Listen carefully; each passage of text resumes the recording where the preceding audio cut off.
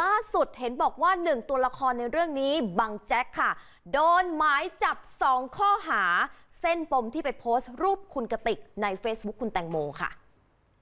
ใครอะเป็นคนหยิบโทรศัพท์ถ้าใครติดตามเรื่องนี้นะคะ คุณผู้ชมก็คือว่ากรณีที่ทางด้านของบังแจ็คได้รับโทรศัพท์ จากคุณแม่คุณแตงโมที่ส่งไปให้ถึงสหรัฐอเมริกาครับแล้วก็มีการโพสต์นั่นโพสต์นี่นะคะ ล่าสุดศาลอาญามินบุรีออกหมายจับตามคำร้องของพนักงานสอบสวน กองบัญชาการตำรวจสืบสวน สอบสวนนะคะ อาชญากรรมทางเทคโนโลยีค่ะ ให้จับกลุ่มนายราชา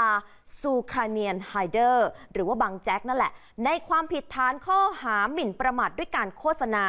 และก็ข้อหานำเข้าสู่ระบบคอมพิวเตอร์ ที่ประชาชนทั่วไปอาจเข้าถึงได้ซึ่งข้อมูลคอมพิวเตอร์ที่ปรากฏเป็นภาพของคนอื่น และภาพนั้นเป็นภาพที่เกิดจากการสร้างขึ้นตัดต่อ แต่งเติมดัดแปลงด้วยวิธีทางอิเล็กทรอนิกส์ค่ะ โดย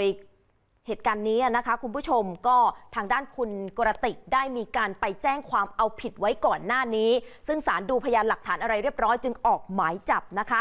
ซึ่งแน่นอนว่าคุณกระติกแจ้งความไว้กับตำรวจไซเบอร์ เพื่อให้สืบสวนดำเนินคดีกับคนที่โพสต์ภาพ นั่นก็คือบังแจ็คนั่นเองนะคะ เรื่องนี้เองก็ถือว่าเป็นความคืบหน้าคุณผู้ชม แต่ตอนนี้ถามว่าบังแจ็คหวั่นไหมเหมือนเขาก็ไม่ได้หวั่นเนาะไม่รู้สึกไม่ไม่รู้สึกอะไรฮะเพราะตอนนี้ยังมีความเคลื่อนไหวเขาโพสต์นั่นโพสต์นี่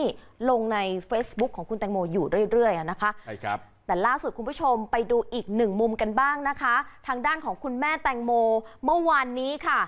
เดินทางไปรับเงินเยียวยาที่กระทรวงยุติธรรม ในฐานะที่เป็นผู้เสียหาย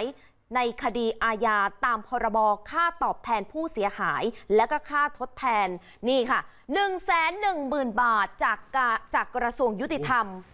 ได้รับเป็นหงแสนเลยเหรอใช่ค่ะเป็นแสนเลยนะคะ ซึ่งเรื่องนี้มันก็เป็นหลักตามหลักเกณฑ์ การเสียชีวิตในคดีอาญาอยู่แล้วค่ะ ที่คุณแตงโมคือเสียชีวิตจากการตกเรือครับก็เนี่ยนะคะเขาจะแบ่งสัดส่วนกันโดยรวมแล้ว 1 1 0 0 0 0 บาท แยกเป็นค่าตอบแทน